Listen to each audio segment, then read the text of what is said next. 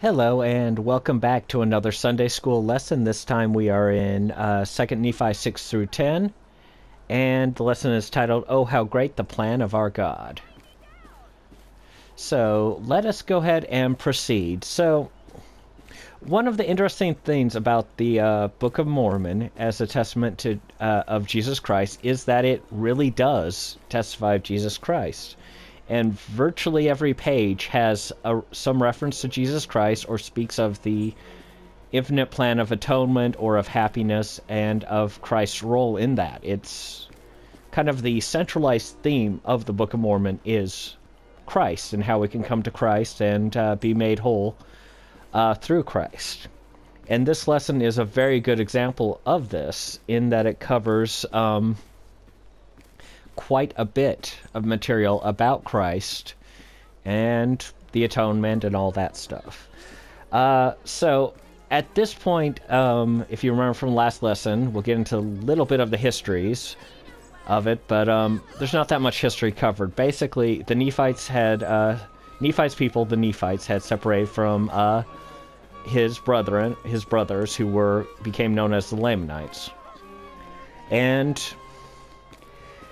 yeah, about 40 years had passed since they left Jerusalem, and uh, Nephi's brother Jacob had been ordained uh, a teacher uh, to the to the people. And pretty much verses 6 through 10 is him teaching the people and reading from uh, the book of Isaiah.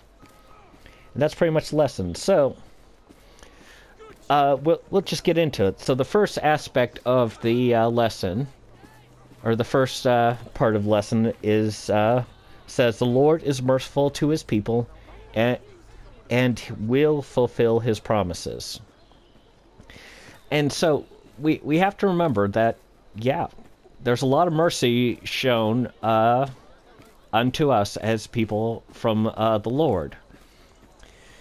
There, there's this great line in um, the book uh, Murder at the Vicarage by Agatha Christie, where uh, uh, a man who is very, very, a very militant Christian man is speaking loudly and bombastically about, and he, he's a judge uh, in real life about ha- how he sentenced uh, a poacher and speaking militantly about justice and how justice is the most important thing and how how great it is. And he's talking to a, a vicar who, you know, is oddly silent at in his response, doesn't really respond immediately, and the judge says, "Well, come on, what what is up with it? Out out with it, man. What are you thinking?"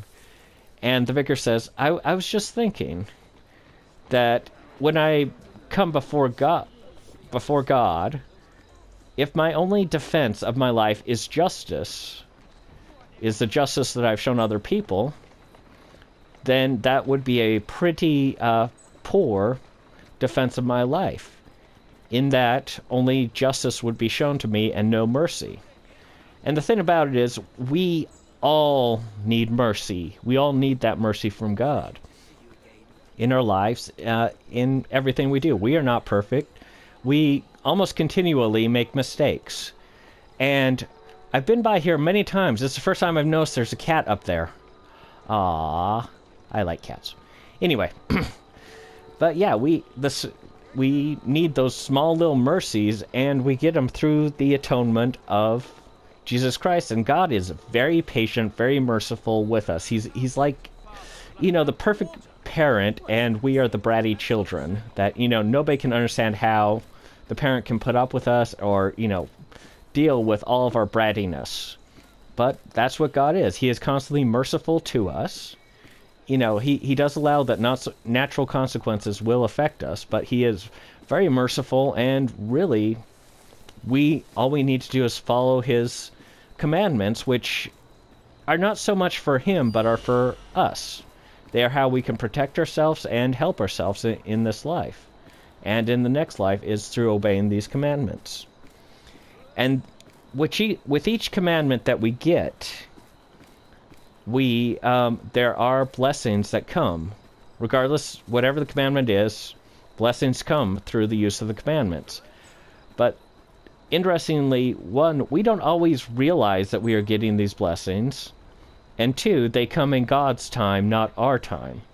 And there are times when getting everything we want would be very, very bad.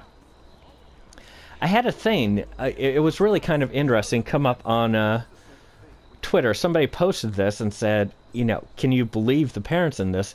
And it's this uh, young girl, maybe 14 years old, teenager, um, essentially talking and swearing at her parents because she's you know her mother saying well maybe you shouldn't go. Maybe you know shouldn't go to this thing. And she's just swearing at her parents and getting all angry and saying she is going and, and very like this stuff. And i'm sitting and uh, you know eventually she does go and i'm sitting there thinking you know i could never have done that to my parents. I would have been grounded for quite a while i would not have been allowed to go and i can't think of any you know it I I just how to phrase this. I I don't I can't think of how this would be good for the child because the child comes off as being very spoiled. And just, you know, getting everything you want doesn't help you. It just, you know, doesn't give you empathy, doesn't help you understand what people are going through. It just means that, you know, mine, mine, mine, mine, as opposed to, hey, maybe we should share something. You know and it, it, it, it is one of those things that with god and with following his commandments we're not always going to get 100% what we want all the time. That's just how life tends to work out. And you know we see examples of this in, in the scriptures of very holy very righteous men ultimately not getting what they want not getting you know good stuff Job, I think, is a very good example of this. He was a very righteous man. But, you know, we read the book of Job. He suffered greatly in that book. After receiving so many blessings of God, he, he really suffered. And, you know, life is going to be hard. We're going to have that suffering. We're going to have these hard things that happen to us. But if we keep following his commandments, even and especially when they're difficult to follow the commandments, when, you know, as Job's friends suggested to him that we should curse God and die, if we do not do that, if we continue following God's commandments, we will be blessed.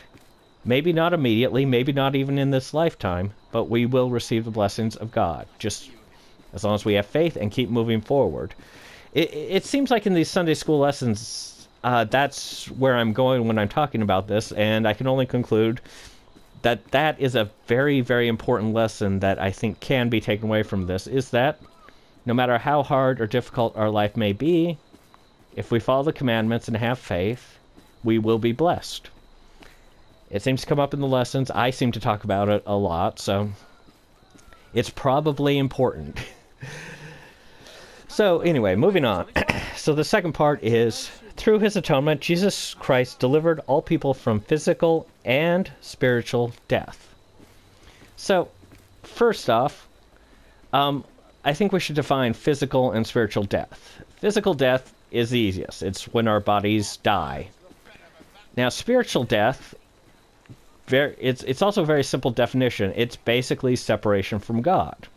Spiritual death is what Adam experienced when Adam and Eve I should say, both experienced it when they were kicked out of the Garden of Eden. They were separated from the presence of God. Each of us experiences this spiritual death when we're born, when we come to this earth. We experience the same spiritual death. We're separated from God. Now we can feel of His Spirit and we can return to God. We'll be, and that's what it meant, means by being delivered out of spiritual death. And the only way we can be delivered out of spiritual death, because, you know, like I said, we've all sinned, is through the atonement of Christ. And pretty much all we have to do is obey the commandments and, you know, partake. You know, by obeying the commandments, by following the rules, we can partake of the atonement. We, despite all of our imperfections, we can be redeemed through Christ.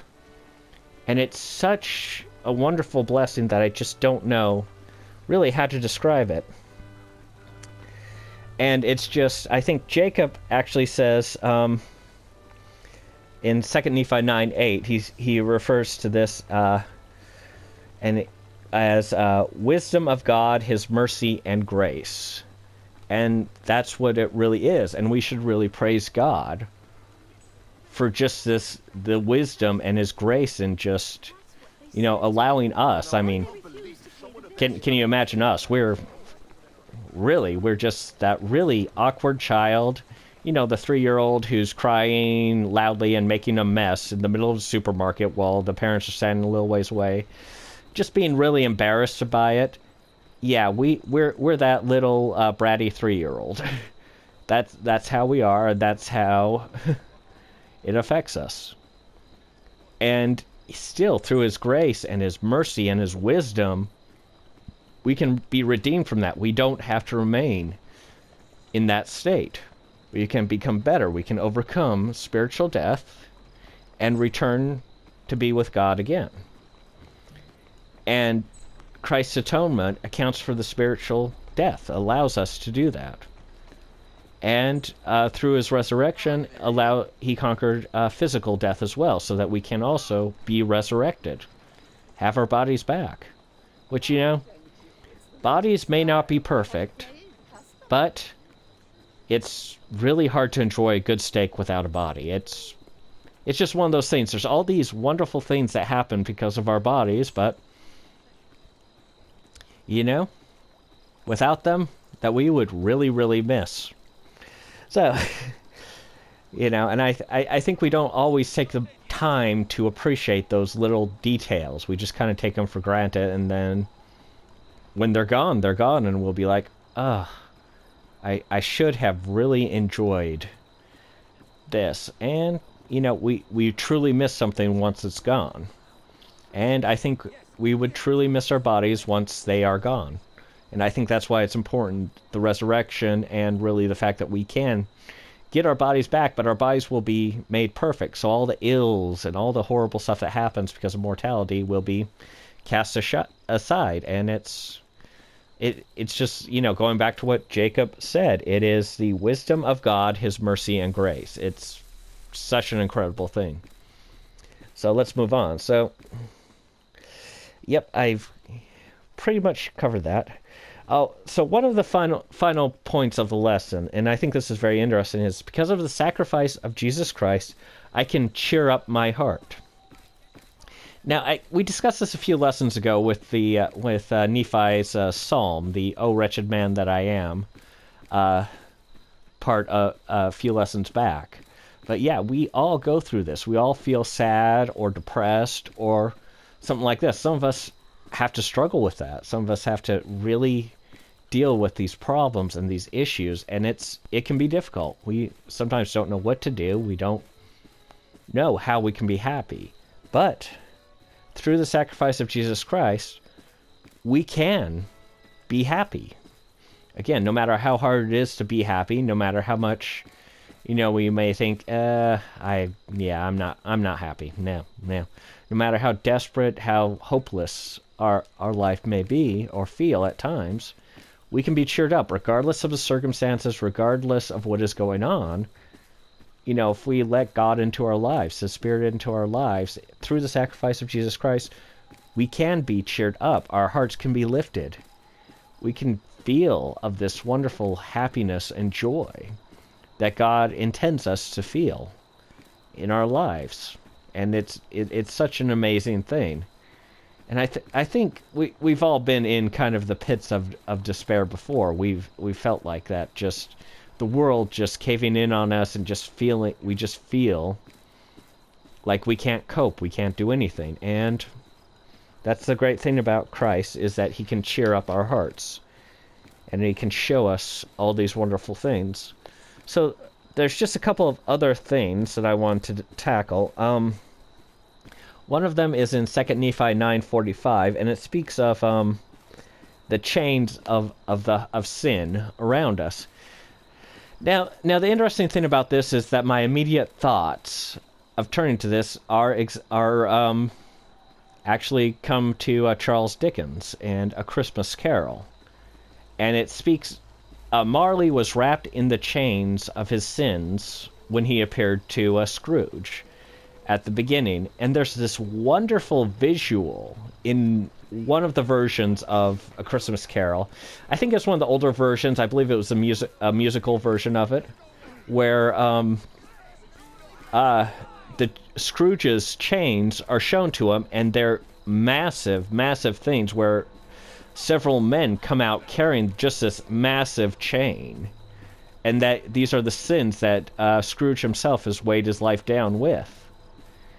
And it, it, it's such a wonderful visual. I, you know, I, I'd recommend kind of looking it up, seeing if you can find on YouTube or something. I, I have not done that myself, but it just, it's just one of those visuals that really stuck with me in my mind, and it, it's such a great metaphor for sin and for the way that our sins weigh us down and, and carry us out. They're like um, addiction. Say, you know, you become addicted to cigarettes. Well, you have to have a certain amount of cigarettes per day. You can't function without it. Otherwise, it's it's just it's really really horrible for you. And in in that same way, sins will hold us down. We can't. They will just keep us back. We have to, you know, we we have to somehow just carry this weight on our, our shoulders throughout our life throughout our lives with the weight of the sins and we would be stuck in that horrible horrible condition essentially forever if it weren't for the atonement of Jesus Christ and you know it's it's great to be reminded of this of just how much we owe God and Jesus Christ and really what we can do to repay them we will never be able to fully repay them but you know the gratitude we show to them and how we help and treat others around us is a great way to start. I'll just leave it at that and, and there and yeah, I think that's pretty much all I wanted to cover in this lesson. It it it really is a great lesson. I'm actually liking this. It's it's kind of in the evening, maybe in the early hours of the morning. Nice, quiet little rain going on in Victorian London. It, it, it is. It's my kind of weather, personally. Not everybody may like this, but I personally enjoy this. So anyway, that is the lesson. Let me know what you think. Uh, like and subscribe if you like this, and I will uh, see you in the next video. Bye.